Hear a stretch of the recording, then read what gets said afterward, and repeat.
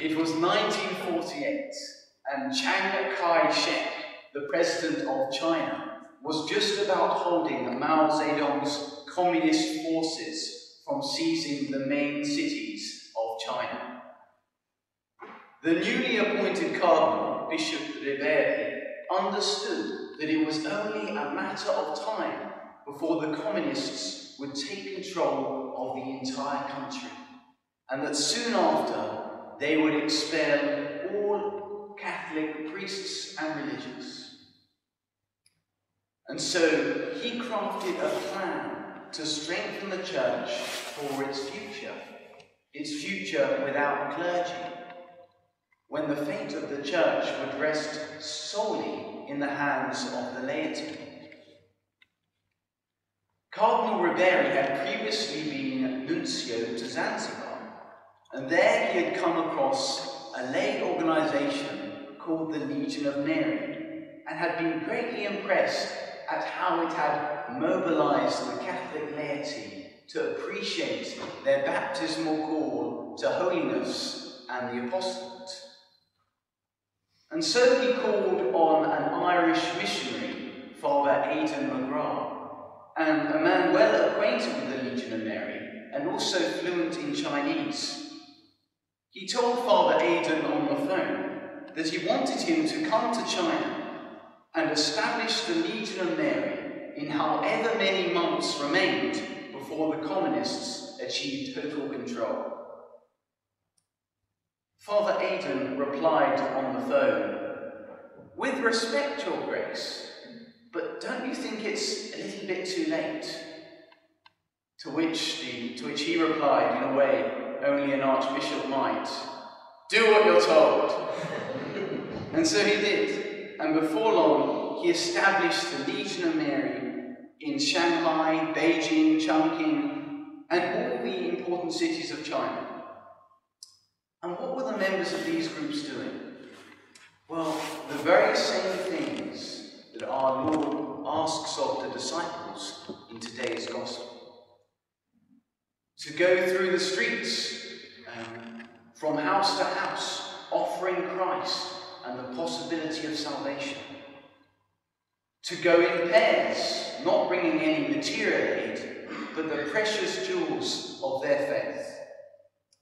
To work under obedience to Christ, which for the legionaries meant doing the work allocated from their weekly meeting, and to return to Christ with a report of their work, which for the legionaries meant coming back to the following meeting to joyfully work report on how Christ had used them over the last week, and also to arrange for any follow-up to be done.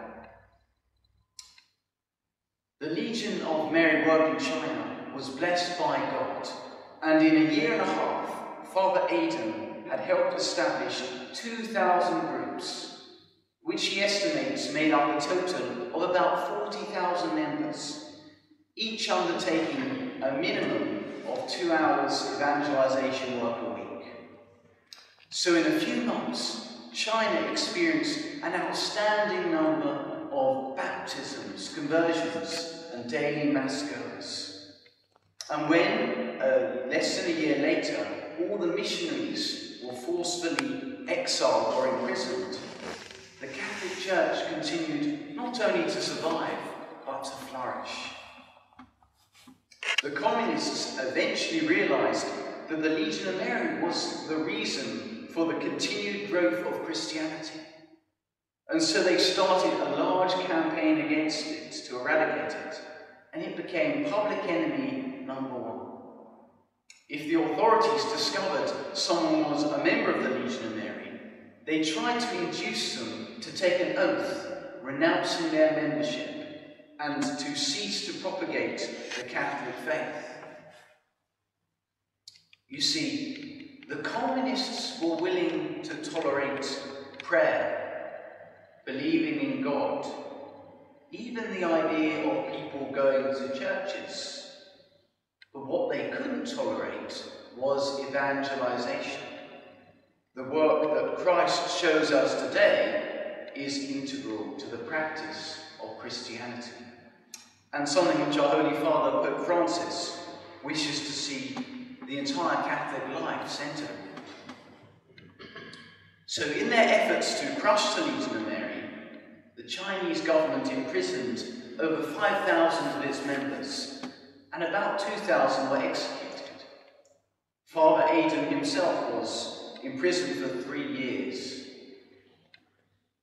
So, how do we fit in? Are we the kind of Catholics the communists could have got on with? How integral to your faith is speaking about Christ to others? And not just when people come to you asking questions, but actually going out of your way to introduce others to Christ. The Legion of Mary continues to do the same evangelization work today, both in England, China, and throughout the world. And I've personally found that getting involved with mission teams that the Legion of Mary operates in the summer a really great way to become a little bit more like the disciples in today's Gospels. Direct evangelization is integral to our Catholic faith. In this Mass, let's ask for the grace to realize that the great command, make disciples of all nations, is no less important than the other great command, which we are about to fulfill, that is, of do this in memory of me.